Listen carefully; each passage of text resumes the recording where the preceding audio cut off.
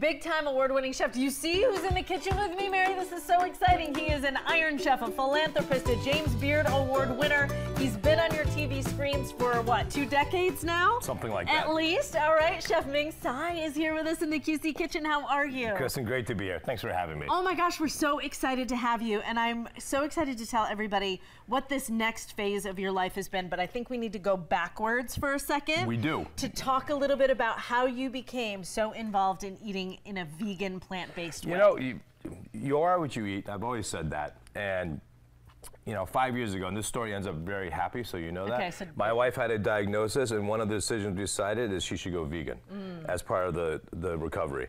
And so I created these Ming's Bings because the veggie packy, patty market didn't have anything very tasty. Right. They're all dry, they're emulsified chickpeas, and uh, they're all pureed, they're not good. So I flipped the paradigm and created Ming's Bings. I put the emulsification on the outside, which is a brown rice wrapper, so it's gluten free. and when you say the emulsification on the outside, for folks that are like, I don't know what that means. So instead of pureeing beans and stuff and making a patty, I decided to let's let's do that on the outside and make a wrapper and fill it with deliciousness. So we found before the butchers a plant-based GMO-free soybean protein, delicious. Violife cheese also vegan, and then I just chefed it up. I had caramelized onions and spices and stuff. So I have two different types for you to try. Okay. One is the breakfast bing. Okay. Check this out. So this is a breakfast bing.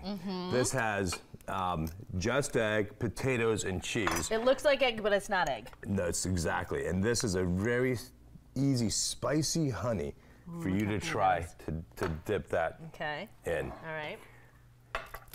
Su- super crispy potatoes, Mm. eggs, cheese. Oh, wow. Right? And that. Right? Mm-hmm.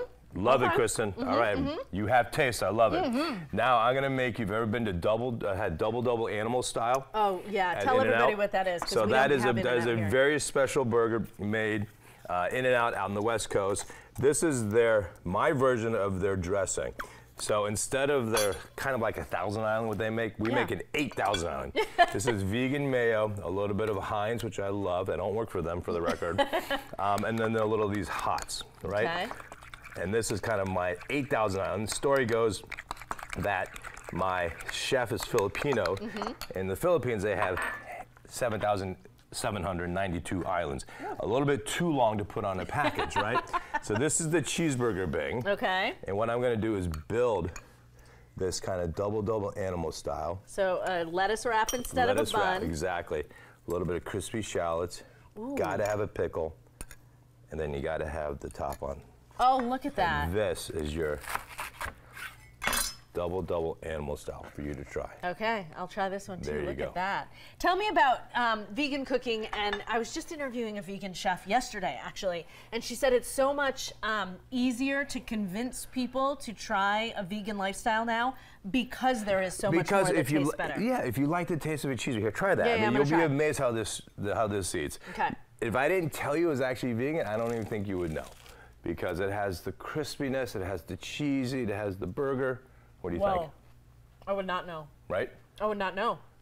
So do you want to know where you can get them? Yes, please. You can get them at Publix. 'Kay. You can get them at Sprouts. 'Kay. You get them at Lowe's and Harris Teeter. All over the down place. here. And Harris Teeter just started the breakfast bings. And since you're here, because you might as well try this here. This is a breakfast bing that's sausage, egg, and cheese. Can I dip it in that honey again? Because Yeah, that honey's course. real good. Hot honey. While I'm eating and enjoying all this, how what have you been doing other than this? Like, how's life? What's so, going well, on? So uh, Iron Chef on Netflix was awesome last Uh-huh. year. So that was so uh, that was just you know with all these great Iron Chefs to be part of them is amazing. I should say one thing about these. Mm-hmm. The one thing I love so much about the company is our motto is eat good, feel good, do good.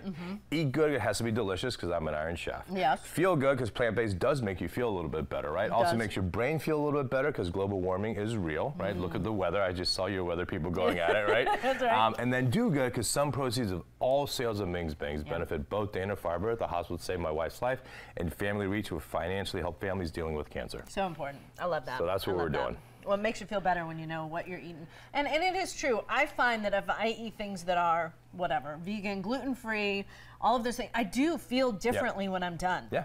100%. And so the next morning, how you feel, wow, I'm actually light. I'm not so heavy. I mean, I, I, I'm a pescatarian. I, I love sushi, so I still Mm-hmm. eat fish. I'll eat steak once a month, but I never feel awesome after eating a big Yeah. steak anymore. It's just, it's just that everyone's changing, I think. I have 30 seconds left. Um, of all of the things Yep. that you've done, of all of the shows that you've done, which one has been the most fun for you? You know what? Like I loved East Meets West so much. So I'm I'm not going to talk about my East Meets West is my favorite of all the shows because it was my first show. Uh-huh. The best TV segment I ever did was a special was right here in Winston Salem. It was with Marcus Samuelsson and Dr. Maya Angelou. What? And I got to eat dinner with her, and I got to stay. And this, I got this on Marcus. She asked me to spend the night, not with her, but in her house. In her house. And he had to go to a hotel. But at least I got to be like, so I spent the night at Dr. Angelou's. How about how was the Holiday Inn Express, Marcus? How did that happen? What a combination of It- people. Yeah, it was the most amazing. I got to cook for her once right after Barack Obama won the first time, mm. and she's a huge foodie, right? Yeah. Bless her soul. She really, I mm-hmm. mean, of all her lines, when people show you who they are, believe them. Yes. That is like, that's that's wisdom. you have to listen to that Right. one. That is that is so And true. then she also agreed with me. You are what you eat. you are what you eat. So you you eat. might as well eat some Ming's Bings. Yeah, That's right I'm now saying. I'm I'm not real eggs, not real meat, and I'm really digging it. So thanks, chef. Thank you so much, Thank you for coming to see Thank us. you all. All of the information on your screen right now. Check it out. I can't even believe you were in our kitchen. We're really excited about that. Mm. I'm you even love I've them. got to eat this stuff. Mary, we're gonna save you some bings. Ah, please do. I, we are hungry over here.